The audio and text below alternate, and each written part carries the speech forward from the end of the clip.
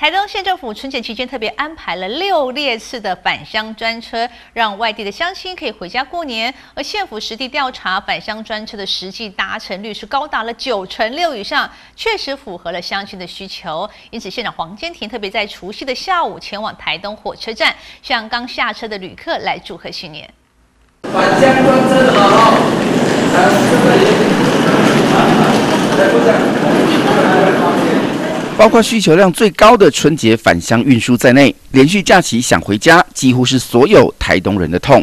月台通道挤满刚下车的旅客，赶在除夕团圆饭之前回到故乡。欢迎回来，欢迎回来。乖乖有乖乖还在包包里面，有看到。返乡专车连续八年行驶在东部铁道，县长黄建庭在除夕当天出现在火车站，除了迎接在外地辛勤工作一整年的乡亲，一方面也向民众拜年，欢迎回家，新年快乐，还顺利哦。如果没有返乡专车的话，你怎么回来？站着回来。真的吗？嗯，很可怜呢。对呀，谢谢，谢谢。诶，县政府的美意。那搭几次？搭几次？搭两次。有被我搭到两次。谢谢。也是要抢嘛。辛苦啦，辛苦啦。今天还有一班，好。对，等一下到，等一下到五点到。那下一班是谁？孙瑞。孙瑞哈。随车的县府团队工作人员当场向县长回报，达成率高达九成六以上。创造出这个数字，黄建庭很能体会同仁对及时让票的付出。我们同仁很认真，只要有人临时退票的，我们都会在现场赶快再兜售。只要有人要买，就赶快就卖卖给他了，免得那个票浪费了，位置空着。你们来摆几天了？今天第四天。第四天了哈。从十二号开始，对。以后。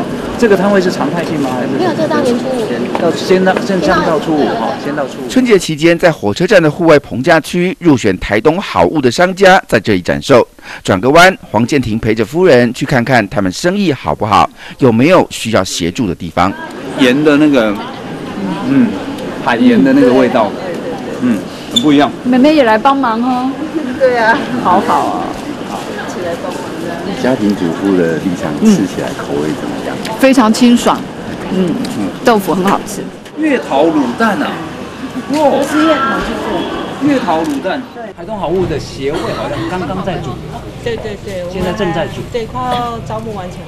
对，如果有协会当窗当平台，然后把好物组织在教育在全部在那边在，太好了，台东好物。